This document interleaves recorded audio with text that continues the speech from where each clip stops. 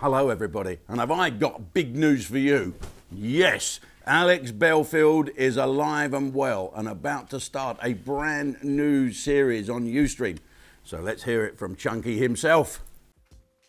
Hello, Chunky. It's my new show, Face to Face, where I meet some of the country's biggest stars and some of my favourite people. Every week we get to meet people who have defined themselves in different ways impressionists, comedians, stars, veterans. They're all going to be here on Face to Face.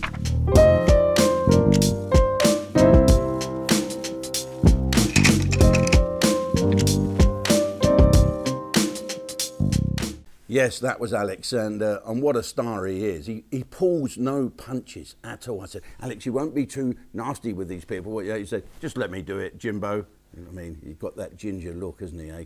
I used to know it well before I went grey. Anyway, the first one is on Sunday the 3rd, and it is with Right Said Fred. Alex Belfield chatting to Right Said Fred. Can you imagine?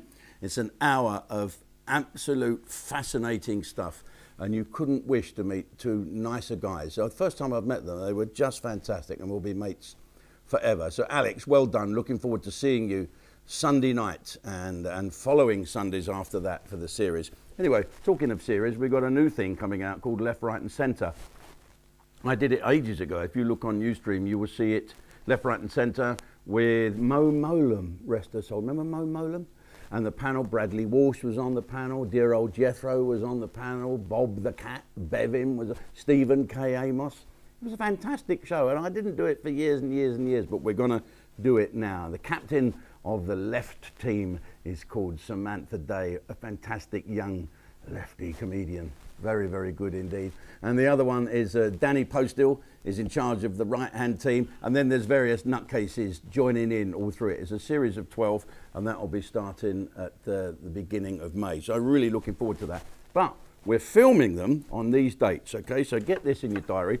The 25th of April, the 3rd of May and the 4th of May. And we're filming it before a live audience, which I hope is going to be you at the Tivoli Theatre in Wimborne. So if you want to come along, okay, we've got shows in on the 25th of April, 2.30 in the afternoon, 2.30, a Chinese dentist at 2.30, racist, and at 7.30 in the evening. Right, May the 3rd, 2.30 in the afternoon and 7.30 in the evening. May the 4th be with you, May the 4th be with you, 2.30 and 7.30 in the evening. So we're going to ask you all to come along and join in. And if you don't like the comedians, what they say, you can get up and slap them. That seems to be the thing. So here's the number. The box office number is, and Isaac's going to put it on a little crawler for you, 01202, so 01202, hang on, 01202 885566, okay? Or go to the Tivoli Theatre in Wimborne, go on their box office and have a little sign up. It's a really interesting time, April and May for us here. It's the start of the new year. We've got some brand new Freddie Starr uh, videos that's new to the channel, Alive and Dangerous. That's going on in a couple of weeks' time. We just had a bit of contractual problem with that. And then Ronnie Corbett, unseen footage of a stand-up of Ronnie Corbett, which is really, really brilliant. And my brand new concert as well, which is the best that you've ever seen in your life. As I say, if you don't like it, I'll give you my address and you can come around and slap me in the face. What about that, eh? What about it? Do you know what? Chris Rock, did he know that Funny Will's wife had alopecia? If he knew, then he shouldn't have done the joke. But it doesn't deserve a smack in the face. In fact, comedians are now all frightened to death to say anything. Here is Jimmy Carr's new stage outfit. Yeah. And here is Chris Rock, who started it all.